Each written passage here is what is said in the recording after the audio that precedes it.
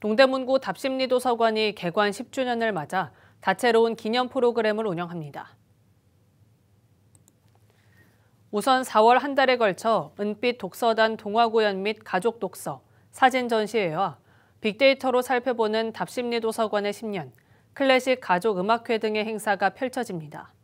또한 제60회 도서관의 날과 도서관 주간을 기념해 4월 12일부터 18일까지는 그림책 원화 전시, 미래와 만나는 시간 등의 다양한 전시와 그림책 샌드아트로 만나는 다문화 지구의 날 특강, 그건 쓰레기가 아니라고요 등의 강좌가 진행됩니다.